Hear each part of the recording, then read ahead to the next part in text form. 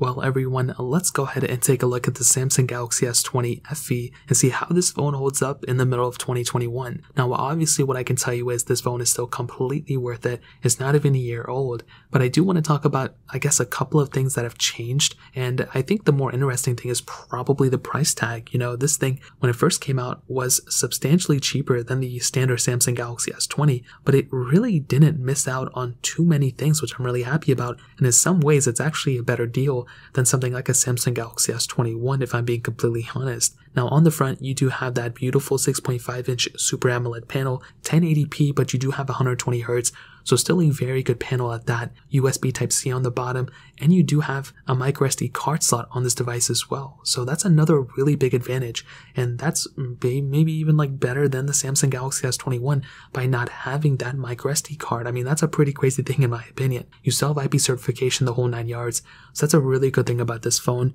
But on the back, plastic back, and I will tell you, it has since grown on me. At that time, it was kind of annoying, but the S21 also had a plastic back, so I think it's gotten better since then, and it's gotten more, I think we've gotten more used to it. And I think visually, the Samsung Galaxy S21 and this device actually look fairly similar. You know, this thing didn't have a curved display, the S21 doesn't have a curved display, so it seems like Samsung merged the S20 and the S20 FE combined into looking like the S21 in so many ways. And we do have that triple camera setup on the back as well, which we'll go ahead and hit on right now. And this is without a doubt still one of the best features of this phone. You have the triple camera setup, 12 megapixel wide, 8 megapixel telephoto, and then a 12 megapixel ultra wide sensor. And like I mentioned before, this is one of the biggest advantages of this device 4K at 60 on this phone, no 8K, which is kind of annoying, but you do have a 32 megapixel front facing camera that you can still do 4K at 60 on that device as well. So it's a little bit of a give and take, but I think overall it's probably better off than not. And I think that's a really good thing about this phone. So in terms of the camera, thumbs up for me without a doubt. But we do have a little bit of a change in the software as well. Since this phone's release actually around the same time this phone was announced,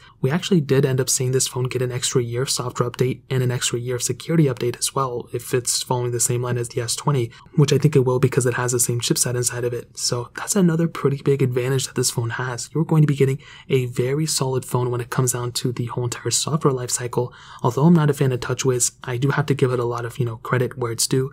And I think that's a very good thing about this phone without a doubt. The battery life of this thing, 4500 milliamp hours is still a very big battery. I think it's bigger than a lot of other phone batteries out there. And for a cheaper phone, I think that's a huge advantage. So in the middle of 2021, still a very good sized battery. And ending it off with the performance, I mean, this thing had that Qualcomm Snapdragon 865 chipset with a couple of different model of RAMs. Base model had six, the top tier models had eight, and this thing had that micro SD card slot so you can expand that storage if you want to, but the RAM is always going to be stagnant as you guys know. And I've always felt like the performance of this phone has been very, very good. It's obviously not the best performing phone in the world anymore, but at that time when it was released, it was actually a very, very fast performing device. It was up there with the S20. You know, it had 2 gigs of less RAM. If you get the top tier model, it would be about the same. So this phone without a doubt is still a very good performing phone for the price tag. And I do think if you're in the market, this is a very decent phone for the performance, you know? I think if you're trying to play heavy intensive games or anything like that, this phone's chipset is not even a year old in terms of the phone inside of it.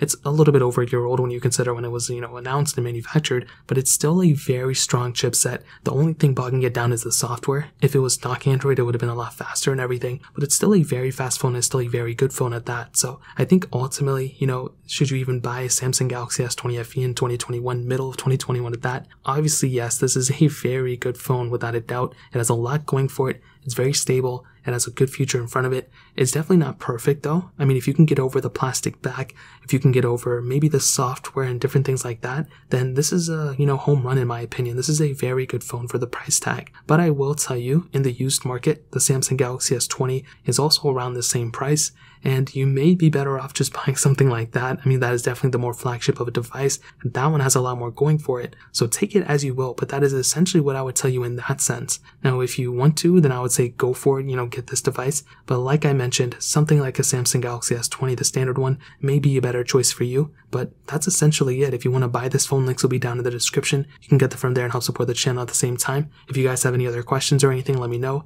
Hit the like button, but definitely hit that subscribe button. More importantly than everything else, I love every single one of you guys. Hopefully I'll catch you guys in the next video. Peace out till then.